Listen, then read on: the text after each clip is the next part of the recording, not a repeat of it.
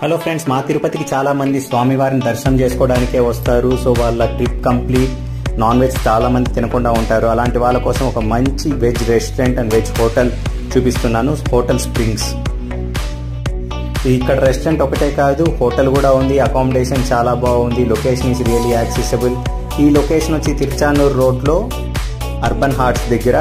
ఇక్కడే same PS four కూడా ఉంది బట్ పిఎస్ ఫోర్లో లాంగ్ వెయిట్ టైం ఉంటుంది. కంపేర్టెడ్ టు పిఎస్ ఫోర్ నాకు ఇక్కడ టేస్ట్ కూడా అమేజింగ్గా ఉంది ప్రైసెస్ కూడా రీజనబుల్ తిరుపతిలో దర్శనం అయిన తర్వాత చాలా మంది తిరుచానూరు వెళ్తుంటారు అలాంటి వాళ్ళకి this is one best spot